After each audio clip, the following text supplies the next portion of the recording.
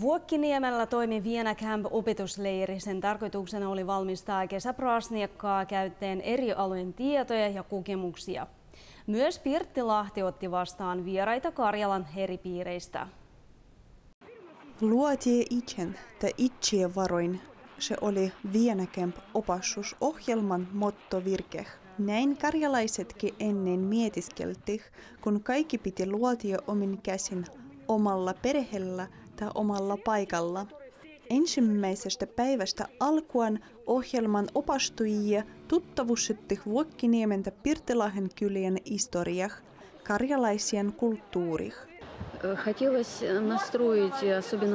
Halusimme kertoa Vuokkiniemelle tulleille nuorelle Vienan Karjalasta siitä, miten täällä elettiin ennen.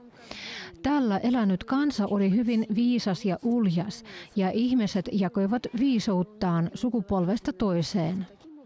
Jotta suoha enemmän uusia ajatuksia tai ideoja, pitää luuva lämmintä ilmapiiriä ryhmässä. Ohjelman vetäjä Irina Rynkevich on taitaja opastaja ja antoi tehtäviä kaikilla И, конечно, забавно звучит, да, Creative Session. Creative Session kuulostaa hassulta ennen kyllä praasniekkaa, mutta minusta se oli Vienna Camp Leirin mieleen painuvimpia hetkiä.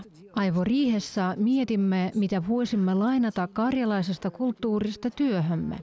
Niin se oli tehtäviä, mitä autettiin tuntia luontua. Sitä varoin ryhmä äikän käveli opasretkien aikana ta matkusti Köynäskosella. Tuli aika keksiä Pruasnikan ohjelmua, kumpa se oli kutsuttu noin sata vierasta. Ensin kentän nuorison piti opastua luotimaan käsitöitä, jotta siitä näyttöä niitä Pruasnikassa.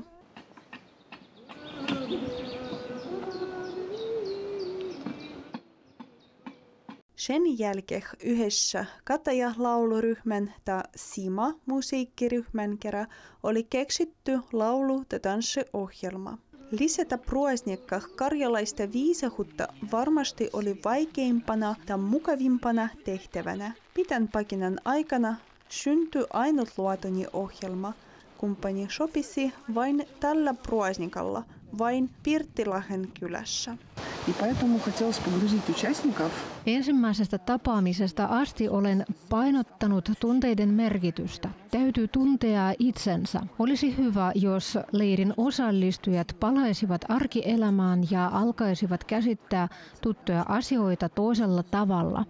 Meidän arvomaailmamme on muuttunut hyvin. Nyt tekee mieli palata entisiin arvoihin.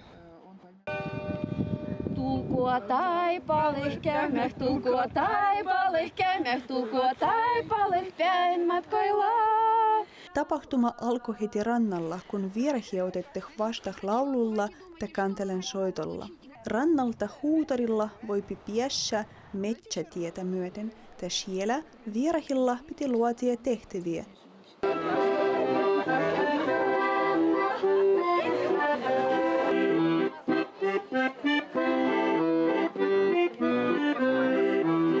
Pruasniekan aikana oli konserttiohjelma, muasterioppia, kumpa sillä opassutte kutomah vöitä, luotimah kukloja, pakajamah karjalaksi, soittamah kantelella tai jouhikolla, panomah paikkoja pieh, Konsertissa esiinnyte Kataja folklooriryhmä Vuokkiniemestä, jouhikko soittaja Ontrei Kostamuksesta, Sima ryhmä Petroskoista ja sen lisäksi joka halukas sai esittyä omua luovua numeroa.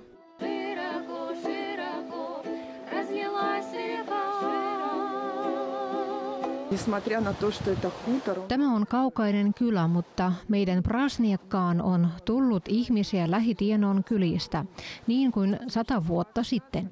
Tämä antaa meille uskoa siihen, että teemme oikeaa asiaa ja intoa jatkaa eteenpäin.